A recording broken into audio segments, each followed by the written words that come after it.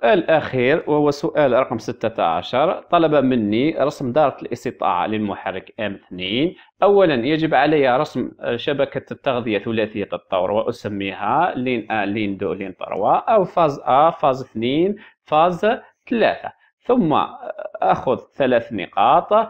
أول عنصر أساسي يربط في دارة المحرك وهو قاطع عازل مع الفواصم. وظيفة القاطع العازل مع الفواصم قطع وفتح يدويا. العنصر الثاني الذي يأتي بعد sectionneur Q واحد هو الملامس. سؤال لماذا سميته ب KM 21 يجب علي الذهاب إلى جدول الاختيارات فقال لنا M 2 محرك لا تزامني ثلاثي الطور يدور باتجاهين. الاتجاه الأول يتحكم فيه KM 21 والاتجاه الثاني KM 22 وأنا بدأت ب KM 21 وبعد الإكمال سوف أضيف كأم 22 ما وظيفة كأم 21 وظيفة كأم 21 فتح وغلق آلية عن طريق دائرة التحكم أو عن طريق دوائر التحكم التي توجد فيها الوشائع بعد آه، الملامس يأتي المرح الحراري. المرح الحراري آه، قمت بتسميته آتي. لماذا سميته آتي؟ انطلاقا من جدول الاختيار. قال لي آتي هو مرحل حراري لحماية محرك M2 لذلك مثل هذه الأمور ركزوا عليها جيدا. فهناك أشخاص يأخذون 20 وهناك أشخاص يأخذون 19 18 رغم أنهم أجابوا على كل شيء طريقة صحيحة. لكنهم آه، نسيوا هذه الأمور البسيطة. بعد المراحل RT يأتي المحرك وهو M2 3 فاز إيغريغ وش معناتها؟ آه، بمعنى آه، إقلاع نجمي إقلاع مباشر إقلاع نجمي. هل أنهيت التركيب؟ لا.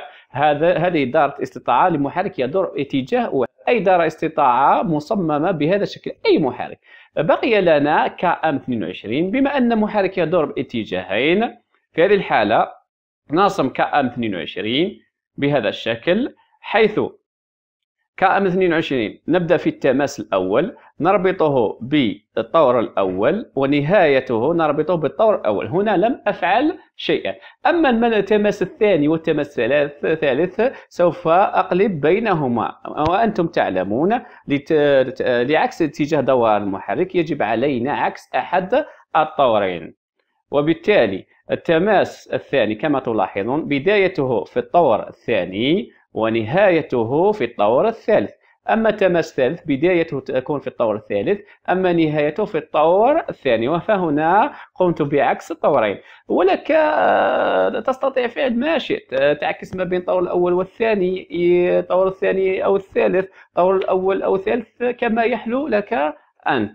شكرا لكم على الإصغاء. وأتمنى لكم التوفيق في المادة هندسة كهربائية وأتمنى لكم التوفيق في كل المواد وإن شاء الله إن شاء الله إن شاء الله العلامة الكاملة في المادة هندسة كهربائية وعلامات رائعة في باقي المواد.